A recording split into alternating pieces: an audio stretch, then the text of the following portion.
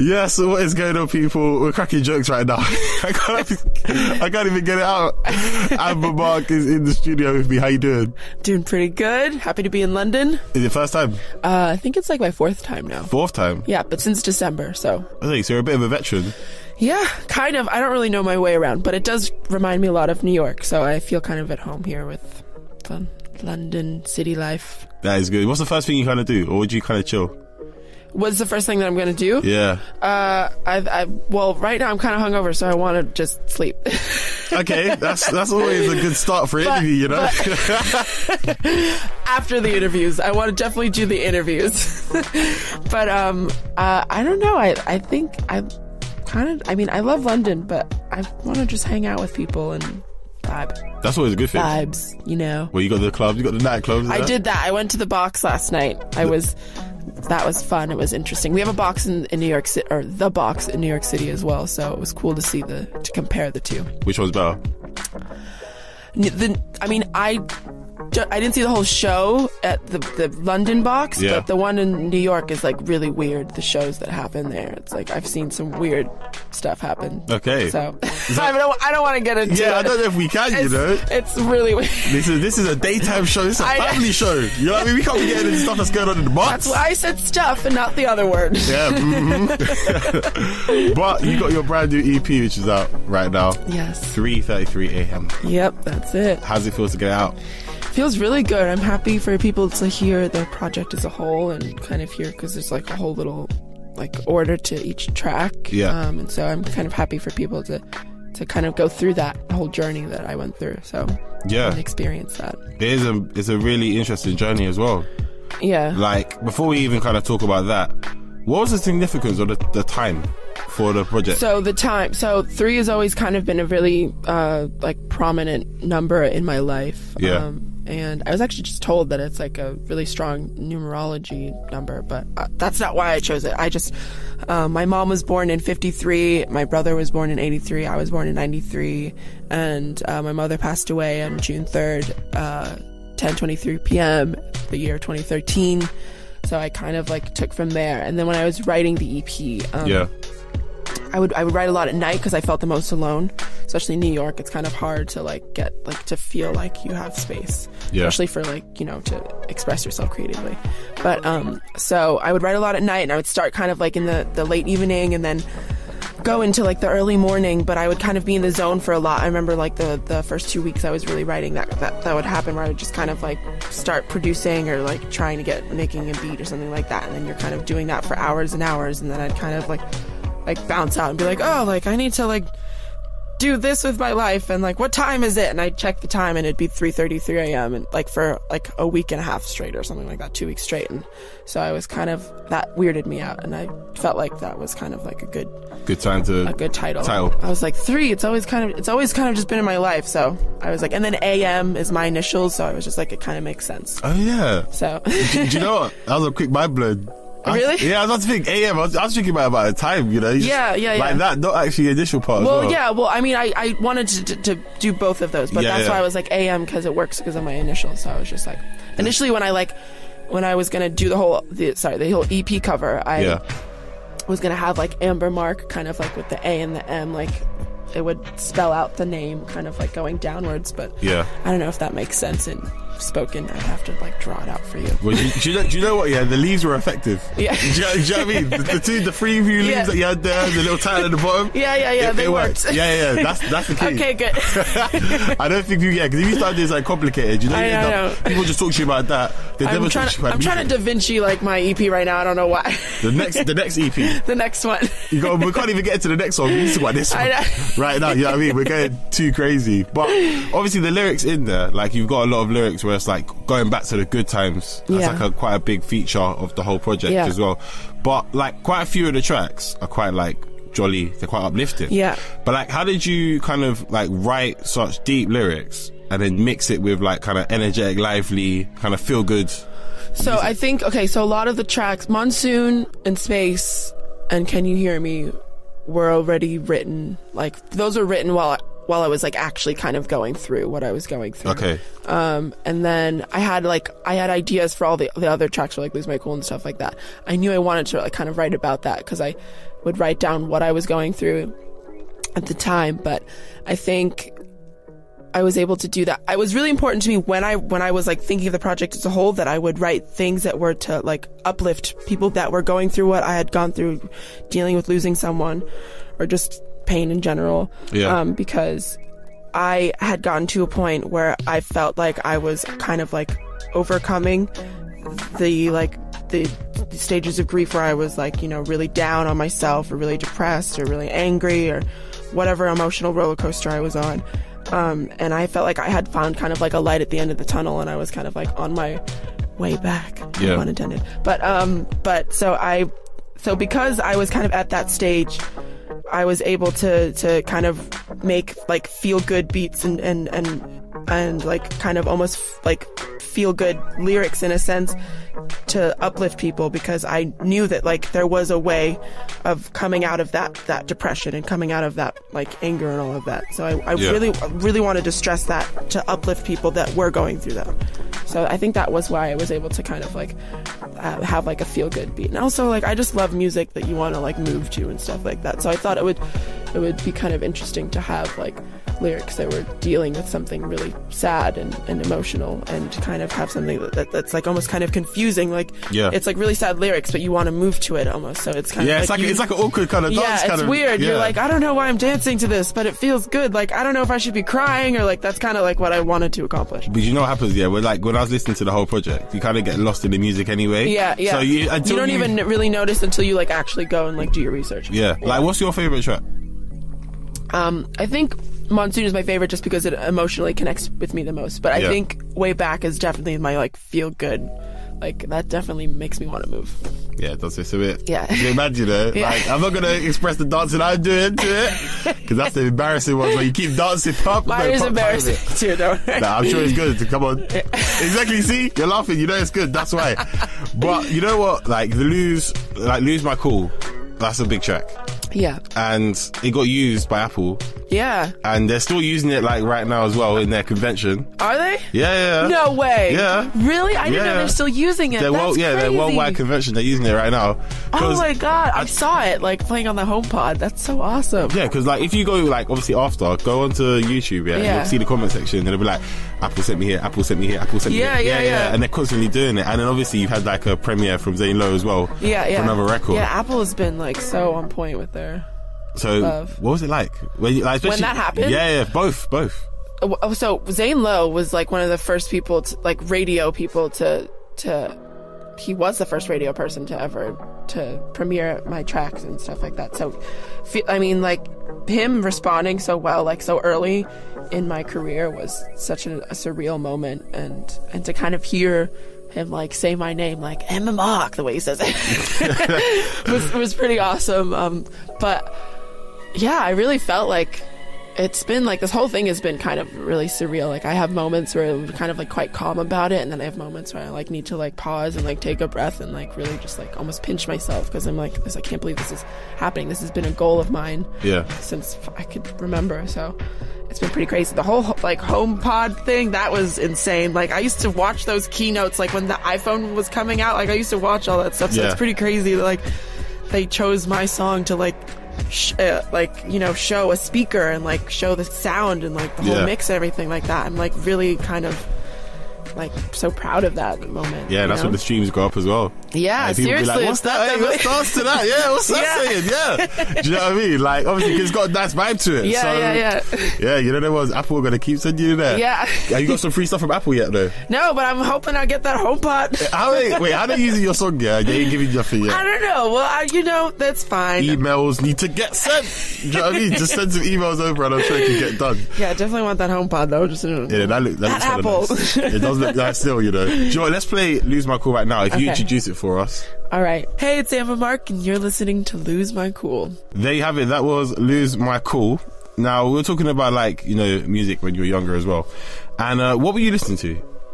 Um, I was definitely I was listening to a lot of what my mom was listening to, like as a as like a very young kid. Yeah. Um, and I think those are definitely artists that stuck with me. I was saying before. Um, they like, I feel like she was listening to Michael Jackson, like Sade, Earth, Wind, and Fire, all Yeah. of that stuff, and so I kind of latched onto that, like Ella Fitzgerald and Nat King Cole and everything. I, So like older school. yeah, so I would listen to a lot of that, um, and then I became really obsessed with Michael Jackson as a kid. I think that was who I was like mostly attracted to, um, and like Bob Marley and stuff like that. So, and then those artists, like people ask me like, who are like my idols and who are my, I think those are people that definitely like I would consider my idols and stuff like that because of the fact that they've like stuck with me to like the age that I am now, and I never get bored of their music, Yeah. you know. So those are definitely legends to me. But as I got older, I kind of started listening to like uh, you know, I would start listening to like indie stuff like Sufjan Stevens or Tribe Called Quest is like my number one like hip hop rap group. They're like always Okay. will be number one for me. Um, and oh See, god, we're, we're, we're, about, we're around the same age, yeah. Yeah. And I, my my hip hop group is G Unit. So Really? Yeah, yeah, yeah. So it can tell us a big difference. I like G Unit. No, no, you're laughing. See you already. no, no, no, I do, I do.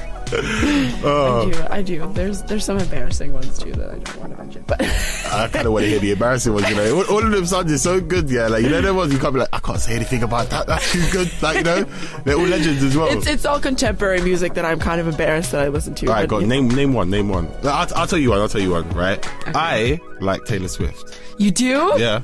She used to be my neighbor. Really? Yeah, on Cornelia Street where I live. I don't know if I should say that other the.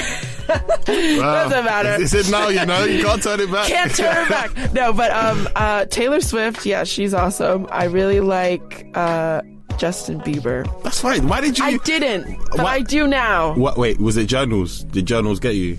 No, what's that? That's the that's the project where he had like all the rappers on it. Oh, really? Yeah, no, like, all the that one, matters on it, the one where he like got the. Is that the one where he's doing all like the tropical like beats and like the. You know, he's doing that when that whole thing became popular. Do you know what? I believe you see that. You know, Stop. you can do the sound effects. I don't know what you're talking about. You don't know what's that song? Oh god, the like, what do you mean? Oh, Sorry, Purpose, all of that. Yeah, Yeah. that was when I started to really like him. You need to go back to journals. He made some bangers on that. Really? Yeah. So there you go. See, it's not. That's not embarrassing. That's. I feel like that's kind of embarrassing. Sorry, Justin Bieber. it's not. It's not embarrassing. Do you want to work with Justin Bieber in the future? If he wants to do music like that, sure. I don't know. He, I'm Oh, like. you was not holler at your girl, you know, I have to like meet him and see how how he is, and then I can decide. and you can decide. You know, cool. okay, he'll have to decide. Honestly, I don't think it'll be me being like, no, sorry. You, don't- you don't know what type of time it's gonna take. You never know. It You could be, could be, you could be that he was in Manchester on Sunday. Oh, He Oh, could still be in London around. You might Yeah, just bump into know. him and just be like, "Oh, uh, can I work for you?" Uh, mm, he might, they might hear this. you never know. exactly. That's what I'm saying. I don't know. But we got to talk about Monsoon though. Okay. Right. So, mad video, really Yeah. colourful. Like he was in Rajasthan. I was in Rajasthan, yeah. Yeah. Which is quite dry for a song titled Monsoon.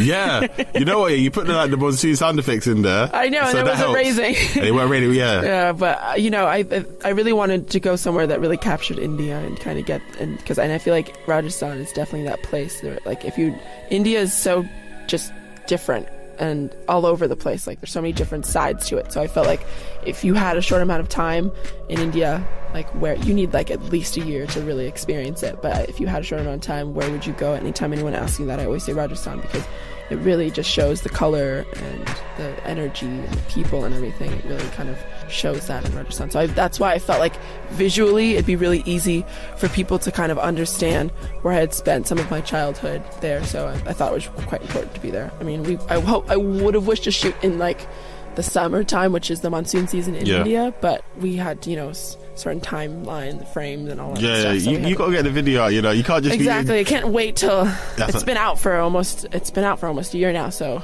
it was like it was kind of crazy. So now we have the now we have the music video finally out, and which was a dream of mine to Yeah. do, and I'm really happy with it. It's a really beautiful music video. So what makes like India or Indian culture like so good with music?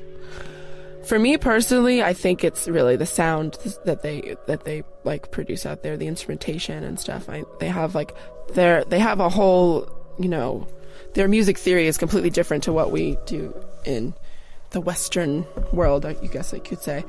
But um, I really like you know the percussion is insane there. I they have like this whole type of singing um, that they do to teach like ta- people how to play the tabla. It's a kind of it's this weird like almost percussion uh, like singing. I could say it's like a like a da da da da. I don't even know what it's called. I really want to figure out. I remember somebody telling me like and when they were explaining to me how Yeah. to do it and all of that stuff like that, but I can't remember because it was so long ago. But um, it's such a beautiful way of like you know expressing music, and I really wanted to put it out in my music because my mom was in love with India. Like she's German, but India was definitely her home Yeah. and um, so I felt like it was quite important to involve a lot of um, Indian instrumentation into the music, and it just it was very nostalgic to me, kind Yeah. of you know listening to that, and then I listened to a lot of Indian um, artists and stuff like that, just like you know kind of in memory of my mother, so I felt like it was just important to have it in a lot of his tracks. So it's definitely something you might use in the future as well. Like, yeah, I, I mean, I, I think I'll always kind of have that. I mean, sometimes I won't, sometimes I will. I just, I really like, I really like Indian sounds and stuff like that. So Yeah. I think it, it adds a, such a unique warmth to songs. And I've noticed that like a lot of songs that are like um, Western, like pop music or Yeah. like I don't know what, like say like Timbaland or something like that. Like when they incorporate that stuff, I I would always be like attracted to that when I would hear that on the radio because of the fact that like he would use like you know some crazy Indian sample or Yeah. something like that, and so that's what. And I realized so I was like, okay, let me just kind of make music that I like to listen to, and that's it. Just happened to And it works. also yeah and it worked, and it was nice. That's the key. yeah. Do you know what? Let's play Monsoon right now. Okay. So if you introduce it for us again, This is Amber Mark, and you're about to listen to Monsoon. You switched up like that. You know. I did. I, d- I changed it up. Monsoon. Monsoon. that was Monsoon. And uh, Amber Mark's in the studio with me right now. And uh, you've done a couple dates. Well, you've done one date in London so far. yes, my first show last night. Yeah. And that was a turn up. It was turn up. It was a lot of people. It was a packed house. It was quite hot and sweaty in there. So I had like all this like tropical uh plant like decor going on. And so I felt like the not that I wanted it to, but the heat definitely like added to the like jungle vibes of like tropical weather and stuff like Yeah, that. yeah, yeah. Unintentionally. So it was quite a, a sweaty show. If that's Not to be too graphic.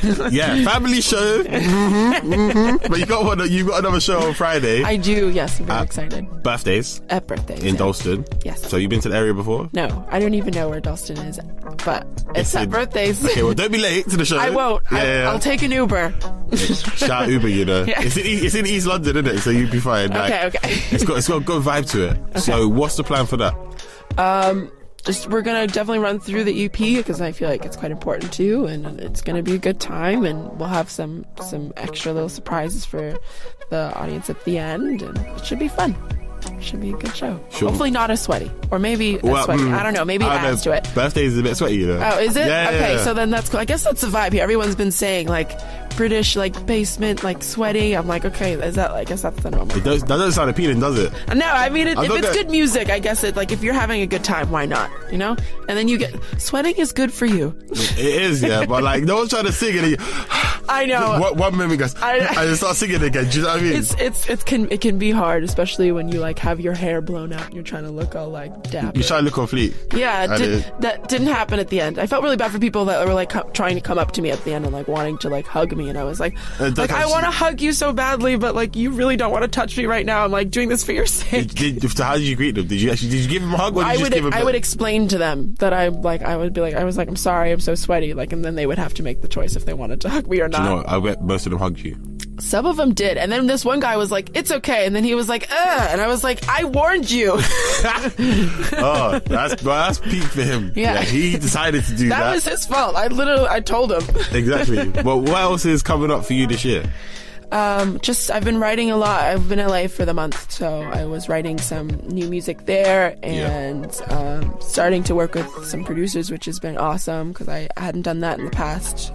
Um, so it's been really fun. And then we're gonna have some more singles out and hopefully some more shows, and then eventually album is in the talk. So we'll be getting to that part. Album, you know. Mm. Album, yeah. What are you thinking? 2018. I have not. Maybe I think so. I think we're thinking beginning of the year. So Good. Yeah. I want to hear more music. You know. yeah, That's, that's key. Obviously, I, I'm impatient. You know. This was. This, I know we do. This one's fresh, you know. Yeah. We need to let this settle for a bit before we start talking about album. But away from the music, what else do you do? Well, what's your kind of like hobbies? Hop, hop, hoppies, you know, Uh, I like- hobbies, hobbies. hobbies. Um, I like food. What type of food we talking? oh God, all kinds. Uh, my godparents own a restaurant. That's just where I live above, Okay. which is where Taylor Swift was my neighbor there on that street. You know, I need to go back, listen back here, Yeah. and then try and go to that street. You know, for the, for the food. No, You no. should, no, you should actually come by. It's really good. It's like Southern Italian Mediterranean food. But I've, I've always kind of been obsessed with food. I definitely like to eat lots of food, try new things, food. But um, I don't know. I like right now. I'm going through like a ramen phase. Like all I want to do is eat ramen. So Mm. I'm trying to find some good ramen. Like the best ramen in London right now is my goal. I found the best ramen in New York, and now I need to find the best ramen in London. Chinatown. Is it really? It's got some spots. Yeah? I'll check out. Yeah. Okay, cool. Like, Uh, yeah. I've been getting suggestions. I like asked people on like my Instagram story, and they've like kind of, and I've kind of correlated some of the the same places that people have listed. So I'm gonna check those ones out. There you go. How I had long? Wagamama today. no. I know, I know, I know, but I just really wanted ramen. It's like my hangover cure. I think that's why I'm saying ramen right now. Yeah, yeah. Well, look, I can't get you any ramen right here No, I just yeah. ate some just now, so I don't need. it. You know, you know, if you're not, they're not hungover, you might need two. I know. I'm, I think I'm gonna have some for dinner, but I'm gonna try like a really like fireplace. Don't go too savage on the ramen, you know. I know. I might never want it again. Ramen's always a good thing. I think ramen is always gonna be something that I want. You make me want ramen now. It's so good. Mm. It's the best. How are you gonna do this? We're talking about food. How are we, I how are we gonna get into ramen? Some deep ramen discussion, you know. But you know what? Let's leave it there for now. But where can the people find you? On court. No, I'm kidding. I was about to say my street. Um, no, they can find Instagram. I'm on Instagram. I'm normally on Instagram. I don't. I try and do the Twitter thing. I try and respond to people as much as I can on Twitter, but definitely on Instagram at Instagramber. That's my Instagram name. So you can find me there. It literally my little bio caption says, "You found me." So you'll find me there. Makes sense, doesn't it? It makes sense. Like if they found, they wanted to find you, they Yeah, found you. yeah. It's simple as that. But no, thank you for chatting to me today. Thank you for having me. No problem. I think we should play one more song. All right. So you choose. Uh, one of mine, right? Yeah. well, I'm talking to you. I'm not, I'm not talking to Justin Bieber. Uh, let's play. What do we do? We did Lose My Cool already. Yeah. And then we did Monsoon. So I guess we'll do Way Back. I think that's the last one. I feel like it's the best feel good one. So, right. one of my faves. Feel good vibes. All right. This is Way Back. And you're here with Amber Mark.